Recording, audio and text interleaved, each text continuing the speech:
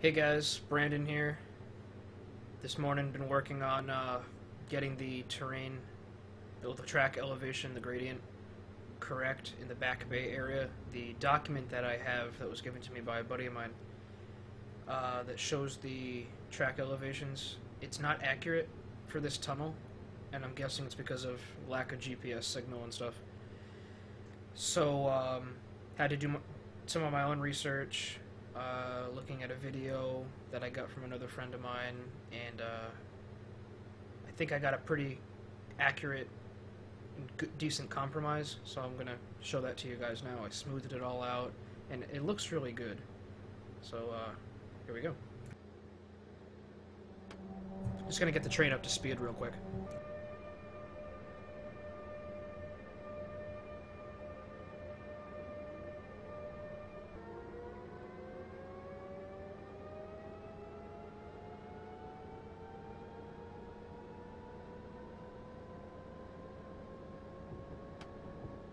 This is pretty much the speed that a train would be coming into the tunnel.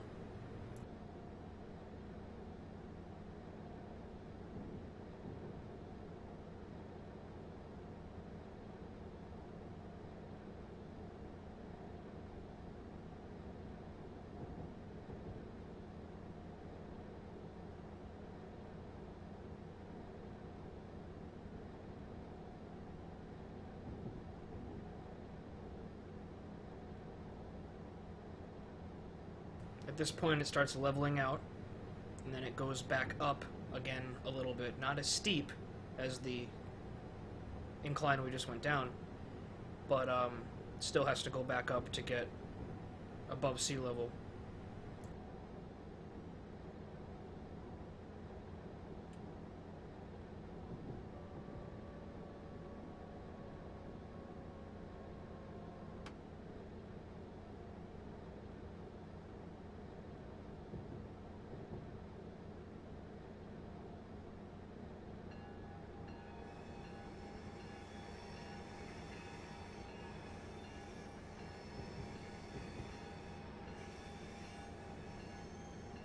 Now, naturally, this is all underground, and it will be underground once I do the decoration again.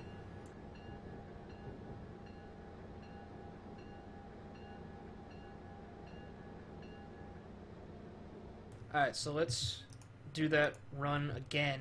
This time I'll zoom in the camera on the locomotive so you guys can see the terrain better. Uh, I think the gradient percentage maxed out at 1.5% going down that hill. Which is about what I expected.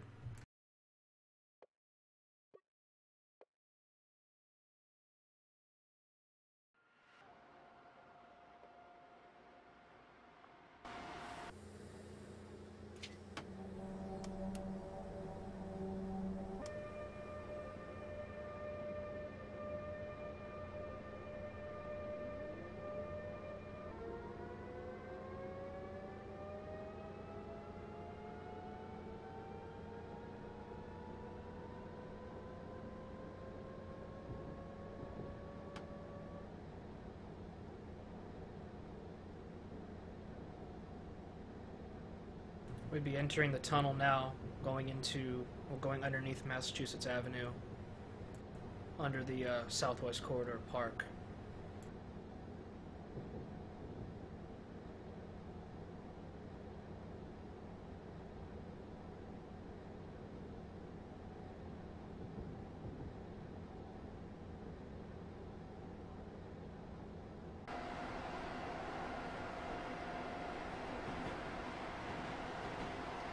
Oops, that looks weird.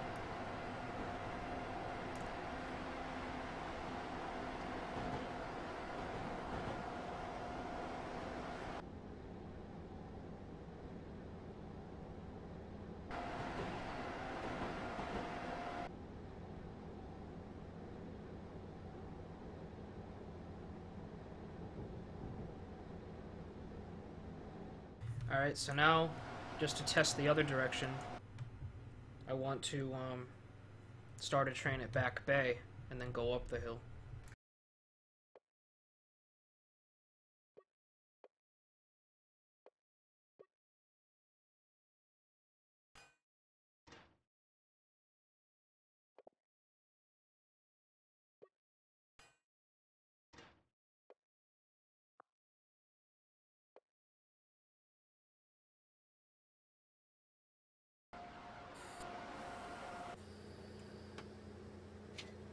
We'll just play it as if we're leaving the station normally.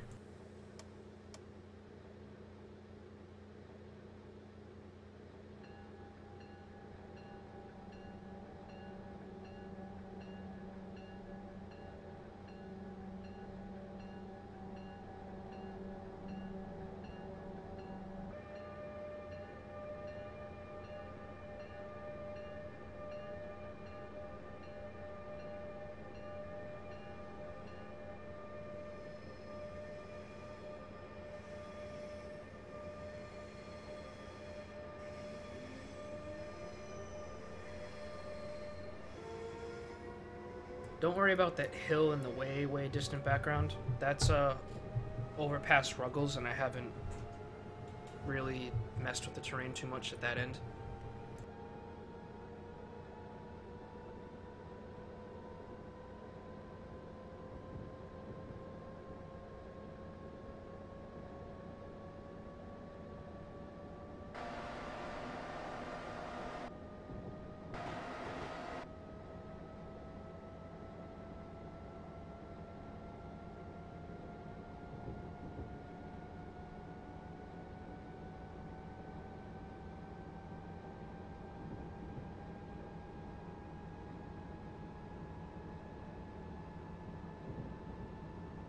Whoa, I didn't anticipate that bump. I gotta smooth that out more, I guess.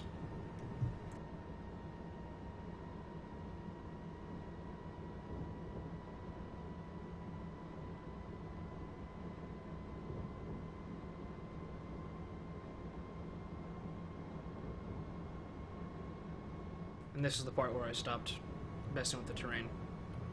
Um, yeah, so that's what I got going right now. Got the decline into the back bay tunnels, and then a slow incline back up into the station and above sea level, and then we get into cove interlocking, which is pretty much uh, consistently about a foot above sea level, according to the document I have. Alright, if you guys got any questions about how I did any, any of this, just, uh, just let me know. Oh, by the way, this is what it looks like when you smooth all the gradients. Those are all the parts that are smoothed. That big bump that we encountered, I guess it was right here. Yeah, it was right there. I didn't smooth out this section. That's why we got that big bump. Alright. Thanks for watching, guys.